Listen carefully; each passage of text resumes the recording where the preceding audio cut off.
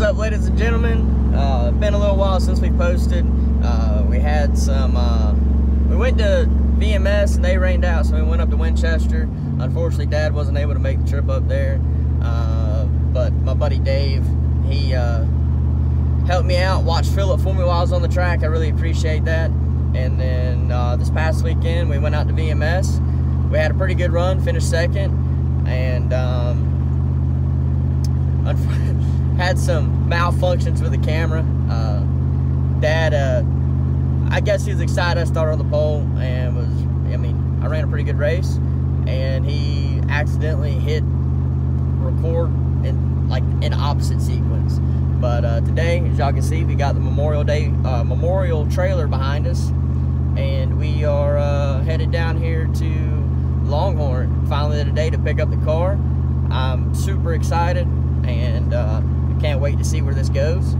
But got to thank Mike for uh, making this happen. Uh, Mike Evok with Race for Heroes because uh, definitely never would have thought at 25 years old and uh, you know coming where I come from from racing, starting a little Pinto, I just never would have thought that I'd be in a brand new race car and this is uh, it's a very special day for me and gotta gotta thank everybody that's ever helped me along the way. So I just very thankful. But we're gonna bring y'all along for the ride and uh, check Longhorn out. Adam get speed.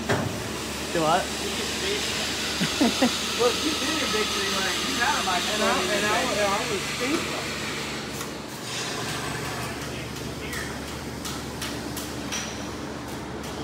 Not much of a driver.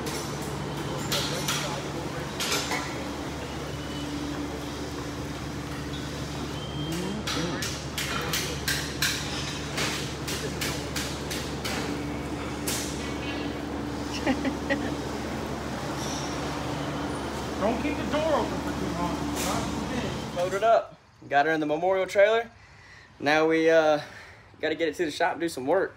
Got to get this thing ready. Um, hopefully we'll be racing this thing in the next couple weeks and uh, looking forward to it. These guys at Longhorn are first class, so appreciate them uh, being short notice on getting this thing ready and uh, getting it ready to load up and all that kind of stuff. So appreciate their help getting it in the trailer.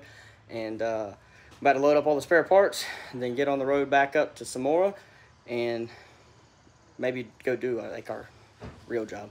Uh, again, thank you to Mike Evok uh, for one sending me down here on a work day to pick this bad, bad piece up. The most beautiful car I've ever seen in my life. But uh, we're gonna get back to work and see if we can't go. All right, guys. So we are going racing at VMS this weekend. I waited till Friday to post this thing, and there is a reason.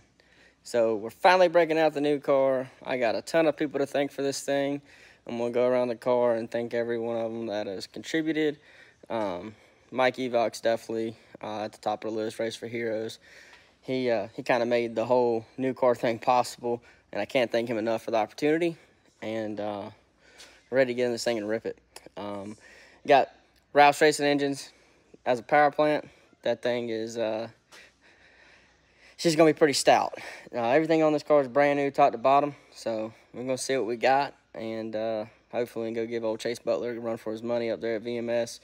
Um, Mr. Ab with the shocks, Abner, um, Abco. I like calling him Mr. Dig, but uh, you know, here we go. We've used him uh, in the past. He's always taken care of me and a- answered any questions at any hour. So got to thank him for uh, taking care of me. He got these things back to me within like two days, which was pretty awesome. I was planning on running this thing on the doubleheader at VMS in Potomac um, two weeks ago, but unfortunately, I didn't have my motor back. Um, Rouse had a set of twins, and uh, also congratulations to Michael and his wife and his whole family. Um, I believe they have both of them at home now. One of them had some uh, some trouble, but I'm glad that both of them made it home. And uh, yeah, so the next guy I got to thank is uh, Mr. Mike Stello for uh, always, you know, supporting me. This this man, shoo, I couldn't race without him. Honestly, I got to drive three to four hours a week every weekend to go race, and what he does for me is uh, just outstanding. You know, um, really couldn't do without him. And then I got Jay with Axios Investigations firm. He supported me for the past three years, and uh, every, past two years that you know I've gone back and talked to him and whatnot about sponsorship for the next year. He's like, "Man, I'm with you till NASCAR." Um, this is NASCAR for me. Uh, you know, I don't I don't know that I'll ever make it in NASCAR. Probably don't fit that build, you know, character. But uh, if it ever happens, that'd be awesome. But uh, anyhow, thank you, Jay. You know, for everything you do for me, keeping some fresh tires on this thing. Um, got to thank. Uh, sorry, got to thank Brett Clary with 380 Speed Shop because he knocked this car out of the park. Um, you know, I've always used Jamin, but uh, I think Jamin's kind of gotten tired of the uh, the race car stuff.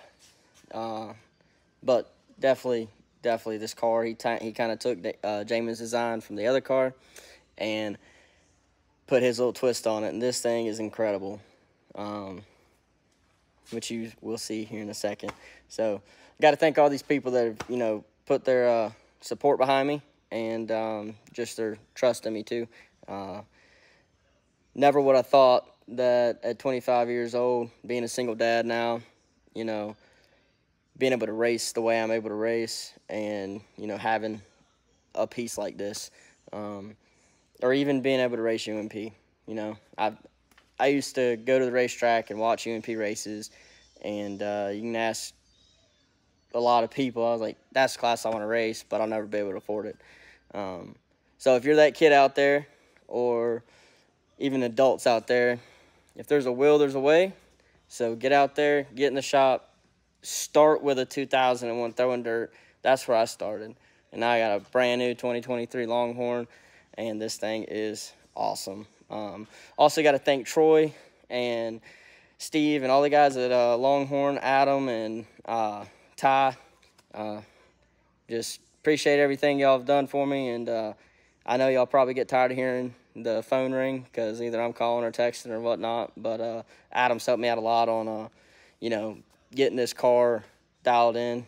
Um, still got a few little things to do before Saturday. Today's Thursday, but we're gonna get it. We're gonna get it lined out. Waiting on a couple uh, shims so I can set the front end like I want it, and uh, or like I'm told to do it. But uh, yeah, looking forward to it. This weekend's gonna be uh, kind of one of those weekends where you find out what you're made of. Um, not saying I'm gonna go out there and set the world on fire. It's still a new car. Um, always, you know, have new uh, things to learn, that kind of stuff.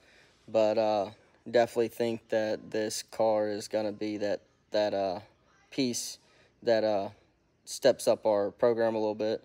And uh, one more person I got to thank is Miss Lori with uh, Four Boys uh, Racing Supply because she I've all I've I've gone to her shoot since I raced my little Pinto, you know, and uh, I gotta I gotta say you're not gonna get better customer service. And every time Philip's with me, he gets candy, which makes my kid happy, so I'm happy.